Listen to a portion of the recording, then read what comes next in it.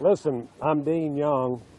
I've been with Judge Moore for 25 years, and I was with him before the ACLU rolled into Gadsden, Alabama, and had their tails kicked.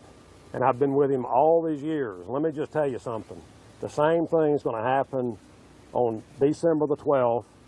All of this stuff is going to be settled, and Judge Moore will be our next senator. Now, Alabamians, I want to talk to you. You guys are seeing us through the national uh, TV shows, but uh, the local Alabamians, I want to tell you what's going on. I want you to understand, Alabamians, that the Judge Moore you knew two weeks ago is the same Judge Moore. And what we're seeing on a national and a worldwide effort is to stop Judge Roy Moore at any cost.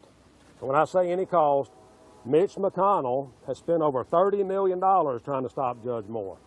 The Washington Post and all the fake media for the last two weeks have said everything they can say about Judge Moore. They're trying to dig people up, put them on TV, and say Judge Moore's a bad guy. The contest is this, and this is what this is where the rubber hits the road. What are Alabamians going to do? If you can be tricked, Alabamians, with the $30 million from Mitch McConnell, maybe it's 40 by now, and the Washington Post fake stories, if you can be tricked in two weeks about Judge Roy Moore, then they win. And what do they win? Why is it such a big deal? Why two weeks ago did we wake up and we hear all this stuff about Judge Roy Moore that we've never heard, although we've watched him for 25 years stand for what's right. Always has. He, st he stands for what's right, what's just, and what's fair. And we all know that in Alabama. All right? So why did this happen? I think the future of this country rides on this race. And let me tell you why. Donald Trump just exploded the establishment.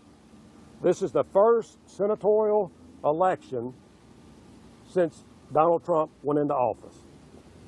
So the, the magnitude of what's going on here can't be overestimated.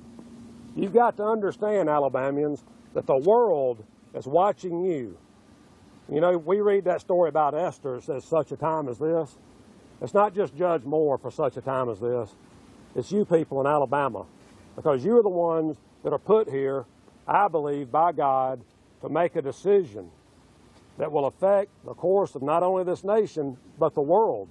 Because the world is watching to see what you do. And the question is, can you be tricked? Can you be tricked? Because all hell is coming Alabama against Judge Roy Moore.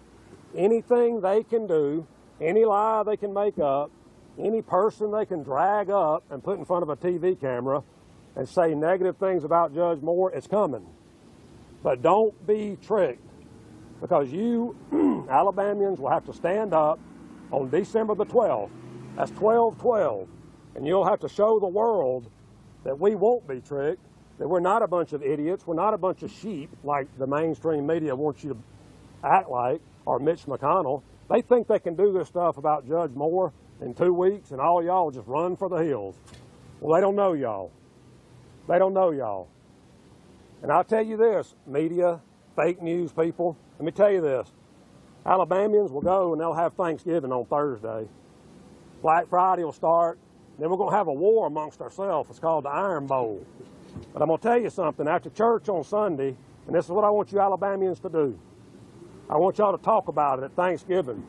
And I want y'all to talk about it Sunday after church. And I want y'all to think in your brain, Judge Moore that we've known for 25 years, are we going to be sold a bill of goods by Mitch McConnell and the fake news? Are we? Are we that? Are we that gullible? And the answer is going to be no. I'll tell you right now, there was a poll done last night, media, and Judge Moore's over six points ahead still. Now, Fox News can put out their fake polls, and everybody else can too, but he's still winning, and he's never been losing because the people of Alabama don't go for what y'all trying to sell. So just like you said, Luther Strange and Judge Moore were even Steven, Fox News, well, guess what? Judge Moore won by 10, and we're going to win again. And that's the message that's the message, Alabamians. Y'all have known Judge Moore for 25 years. Y'all have watched him, and none of this has ever shown up until right before this election. And again, this election has ramifications not only for Alabama, not only for the United States, but for the world. And by the way, that's why you saw Kellyanne come out yesterday and say, we've got to have somebody like Judge Moore. We've got to have someone like Judge Moore. Well, you know, Kellyanne does talk to the White House. Now, why is, why is that? Why, Alabamians, do we need Judge Moore? Well, number one, there's a Supreme Court justice that's thinking about retiring. Now, this other guy, Doug, the liberal Democrat Jones, he will not put someone on there that's, uh, that stands against abortion because Doug, the Democrat, the liberal Democrat Jones, stands for abortion with his own words all the way up until the baby's born. And so that means partial birth abortion. That's who this guy is. Now, he's trying to trick y'all too. Don't think the Democrats aren't trying to trick you guys. He's trying to trick y'all to make y'all think that he's some kind of moderate. Well, he's not. He's for, he's for abortion till the baby's born. He's for transgenders going into your little girls' bathrooms and, boys pretending like they're girls going into the bathrooms with your children at school.